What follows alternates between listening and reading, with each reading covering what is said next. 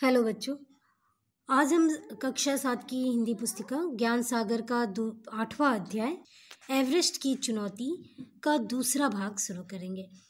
पहला भाग हमने प्रीवियस वीडियो में कर चुका है तो आज शुरू करते हैं दूसरा भाग। दूसरे दिन साढ़े सात बजे सुबह लेखक हरिपाल सिंह और उनके जो सभी साथी थे, आखिरी शिविर के लिए चल पड़ते हैं।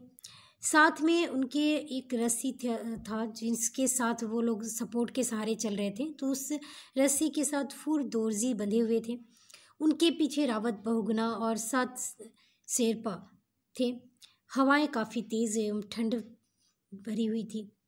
साढ़े ग्यारह बजे सभी लोग आठ हज़ार पाँच सौ बारह मीटर की ऊंचाई पर अंतिम शिविर पर पहुँच जाते हैं।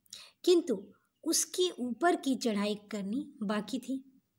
और ये चढ़ाई जो थी, साढ़े सात सौ मीटर ऊँची थी, जो कि काफ़ी संकरी और तीखी थी, रास्ते जो थे वहाँ के।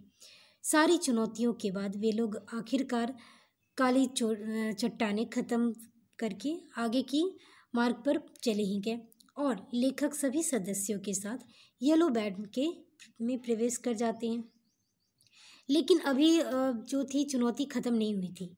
अभी उनकी दूसरी चुनौती बाकी ही थी। आगे ऊपर की चढ़ाई की। लेकिन उसके बाद लेखक के सिलेंडर का ऑक्सीजन जो है कहीं से लीक हो रहा था, जिसके कारण उन्हें दिक्कत होती है। तो वो लोग क्या करते हैं कि रुकते हैं और वहाँ पे बर्फ़ काट कर एक प्लेटफॉर्म जैसा बनाते हैं और वहाँ रुक के वे लोग जो कहते पाइप में एक टेप लगाकर उस लीकेज को सॉल्व करते हैं।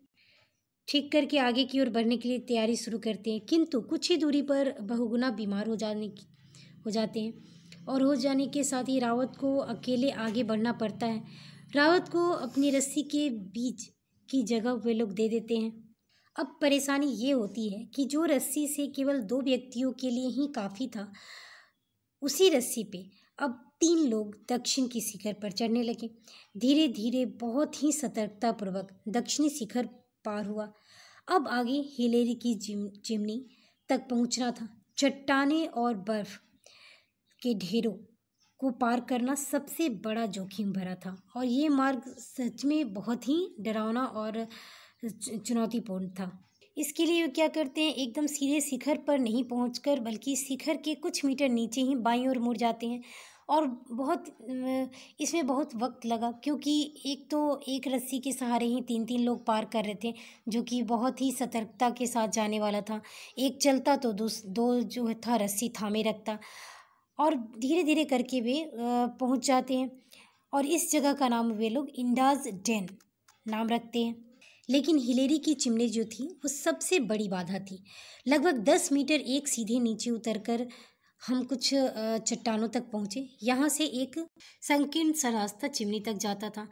धीरे धीरे वे लोग क्या करते, कुल्हाड़ी के सहारे जो था बर्फ़ पे गड़ा कर रास्ता बनाते और अपनी बूट जो कि, जिसमें कांटे की तरह लगी हुई थी, उससे गड़ा गड़ा कर वे रास्ता पार तक कर, जूतों की कीलों को गाड़ते और कुल्हाड़ी से जगह बना के फंसा के रस्सी के सहारे वे लोग धीरे धीरे करके आगे अपनी अगली पड़ाव तक पार करते हुए पहुँच ही जाते हैं शिखर तक।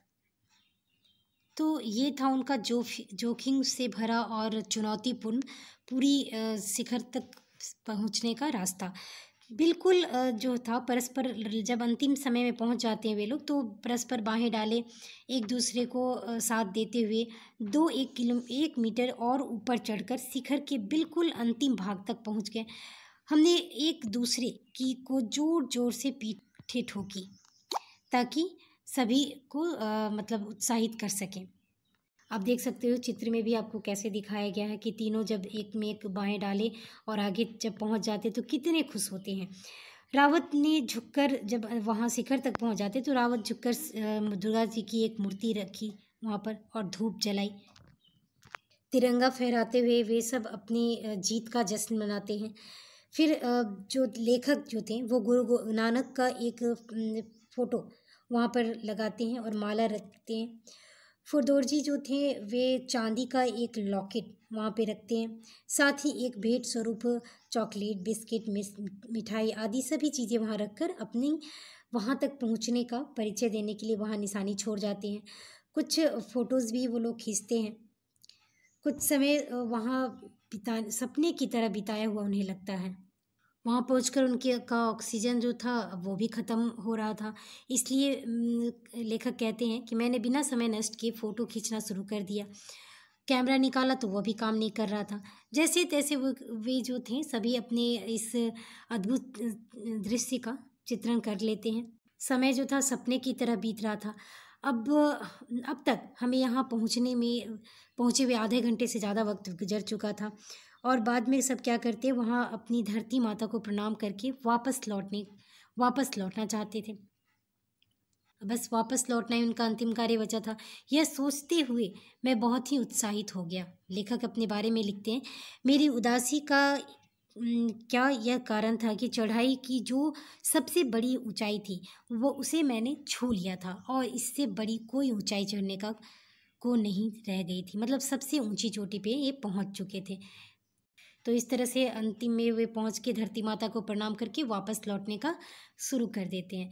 तो इस तरह से उनकी जो अनोखी ये, यात्रा थी, एवरेस्ट की चुनौती भरी यात्रा उसका उन्होंने इस पाठ के माध्यम से आपको बताया है कि क्या क्या उन्हें चुनौतियों का सामना करना पड़ा। तो इस तरह से इस पाठ का एक्सप्लेनेशन यही समाप्त होता है। अगर आपको वीडियो अच्छा लगा तो लाइक करें शेयर करें और मेरे चैनल को सब्सक्राइब करना बिल्कुल ना भूलें।